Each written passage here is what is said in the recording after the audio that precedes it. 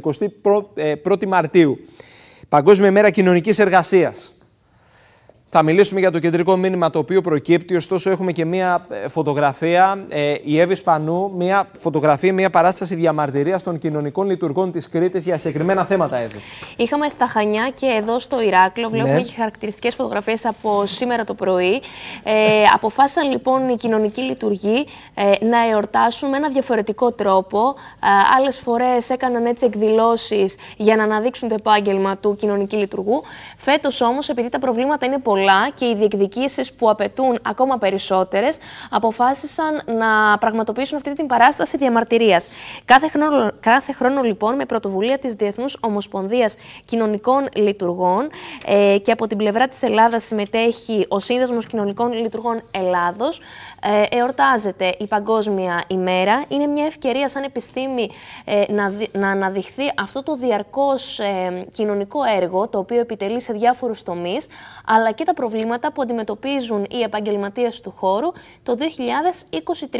Ξεχωριστώ και το φετινό ναι. μήνυμα, αλλά και όλα εκείνα τα οποία προκύπτουν από αυτά τα οποία συζητήθηκαν σήμερα και ελπίζουν να πάρουν απαντήσεις. Πού θα πάμε, στην κυρία; Ε, θα μιλήσουμε με την κυρία ε, Ελεονόρα Χερίδη. Είναι η πρόεδρος ε, του ε, παραρτήματος ε, εδώ στην Κρήτη. Συμμετείχε ναι. το πρωί στις διαμαρτυρίες. Ε, και νομίζω ότι είναι μια καλή ευκαιρία με αφορμή την Παγκόσμια ημέρα να συζητήσουμε για όλα εκείνα τα οποία τους απασχολούν. Μάλιστα. Λοιπόν, την καλησπέρα μας, κυρία Χερίδη. Καλησπέρα σας.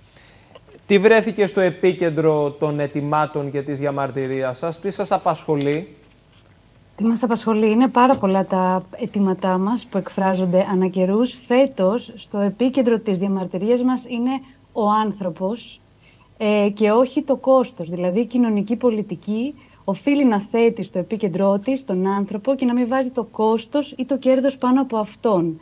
Ε, η υποστελέχωση των κοινωνικών υπηρεσιών είναι αρχικό και πάγιο αίτημά μας. Ε, ο εορτασμός της Παγκόσμιας ε, ημέρας κοινωνικής εργασίας στη χώρα μας φέτος σημαδεύεται από το εγκληματικό δυστύχημα στα Τέμπη και έρχεται μετά τις μεγαλειώδες ευεργίες ε, τις 8 Τρίτου και 16 Τρίτου ε, με το αίτημα να μην συγκαλυφθεί αυτό το έγκλημα. Χιλιάδες άνθρωποι απέργησαν, κινητοποιήθηκαν, δεν σιώπησαν, έγιναν η φωνή των νεκρών λέγοντας οι ζωές μας έχουν αξία, οι ζωές μας δεν είναι κόστος. Αυτός είναι ο βασικός πυλώνας. Κυρία Χερέδη, όταν, όταν λέμε ότι καταγράφονται κάποιες ελλείψεις σε προσωπικό, σε ποιες δομές και αν μπορούμε λίγο να γίνουμε συγκεκριμένοι και σε επίπεδο Κρήτης σε όλες τις δομές ε, παιδικής προστασίας, στις κοινωνικές υπηρεσίες, στον ΟΤΑ, ε, στα κέντρα κοινότητας.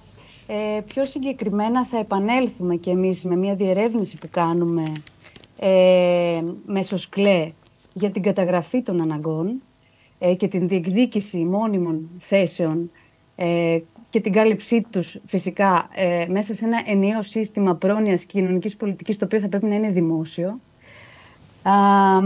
μπορώ να σας πω αυτή τη στιγμή για τα αιτήματα που θέτουμε. Μάλιστα, ε, μάλιστα πείτε μας. Ε, έχει αξία να αναφερθούν. Ε, και μιλάμε για ένα, όπως σας είπα, αποκλειστικά δημόσιο δωρεάν και ενιαίο σύστημα πρόνοιας και κοινωνικής πολιτικής με επίκεντρο τον άνθρωπο, μαζικές προσλήψεις μόνιμου προσωπικού με πλήρη εργασιακά δικαιώματα για τη στελέχωση όλων των κοινωνικών υπηρεσιών και δομών, ε, μονιμοποίηση των συμβασιούχων συναντέλφων των επικουρικών και των αναπληρωτών ναι. που δουλεύουν στην εκπαίδευση, γιατί και εκεί παρουσιάζεται τεράστιο έλλειμμα. Ε, χαρακτηριστικά να πω ότι είναι ένας κοινωνικός λειτουργός ανά πέντε σχολικές μονάδες σε κάποια προγράμματα. Α, κατάργηση του διαχωρισμού ανάμεσα σε ε, τεχνολογική και ε, πανεπιστημιακή, πανεπιστημιακή εκπαίδευση και ένας ενιαίος κλάδος για όλους μας ε, και κατοχήρωση και προστασία των επαγγελματικών μας δικαιωμάτων.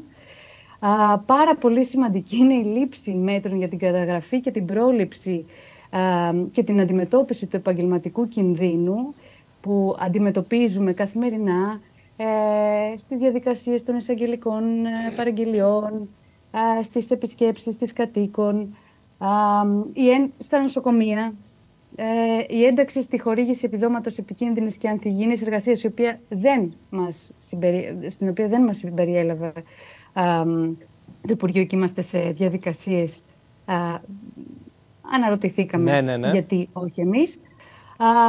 η κλινική εποπτεία δεν είναι κομμάτι το οποίο επίσης καλύπτεται, δηλαδή είμαστε στις υπηρεσίες και καλούμαστε να καλύψουμε κενά ε, τρομερής υποστελέχωσης. Α, μάλιστα αυτό εκφράστηκε και στην αγωνία των φοιτητών που είπαν ότι δεν γνωρίζω πώς θα μπω, πώς, πώς θα ξεκινήσω ε, να εργάζομαι, όχι μόνο επειδή δεν υπάρχουν θέσεις, αλλά αυτές οι θέσεις που υπάρχουν ε, είναι τόσο υποστελεχωμένες ώστε σε πολλές περιπτώσεις δεν υπάρχει άνθρωπος να μας μάθει τη δουλειά. Ε, είναι τεράστιο ζήτημα και αυτό. Ναι, υπάρχουν πάρα πολλά αιτήματα. Ακριβώς είναι πολλά τα αιτήματα. Η αλήθεια είναι πως είναι διαχρονικά τα αιτήματα. Έχετε στείλει και αρκετές επιστολές σας στην αρμόδια Υπουργεία και στον ίδιο τον Πρωθυπουργό.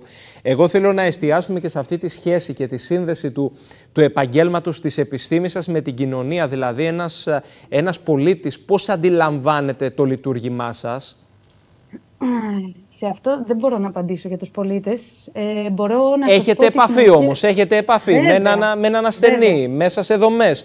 Πώς αντιλαμβάνονται τη σχέση που δημιουργείτε καθημερινά, είστε ικανοποιημένοι, σας γεμίζει αυτή η σχέση, υπάρχουν κάποια κενά; Φυσικά και υπάρχουν κενά. Ε, όταν οι υπηρεσίες είναι υποστελεχωμένες δεν μπορούμε να παρέχουμε με ολιστικό τρόπο το οικολογικό μοντέλο της κοινωνικής εργασίας που λαμβάνει υπόψη του όλα τα επίπεδα.